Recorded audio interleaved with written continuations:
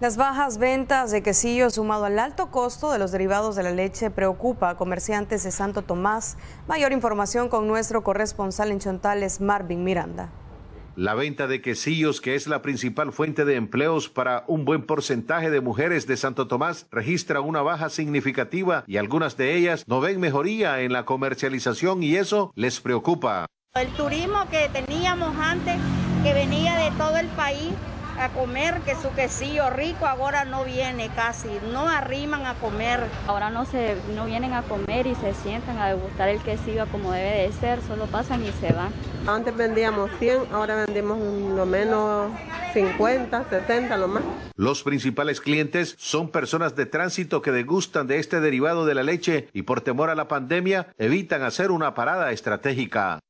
Hay días pésimos, el, lo mínimo son 15, de 15 a 20 quesillos nada más. Por lo menos yo vendía solo quesillo, ahora vendo gaseosa y vendo tortilla.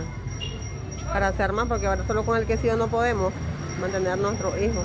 Aparte de las bajas ventas, estas mujeres se quejan del alto costo que tiene la libra de quesillos y la crema. Todo lo que es lácteo ha venido bien carísimo y porque de esto vivimos, de nuestro trabajo, de, de nuestro negocio. Toditas pagamos impuestos.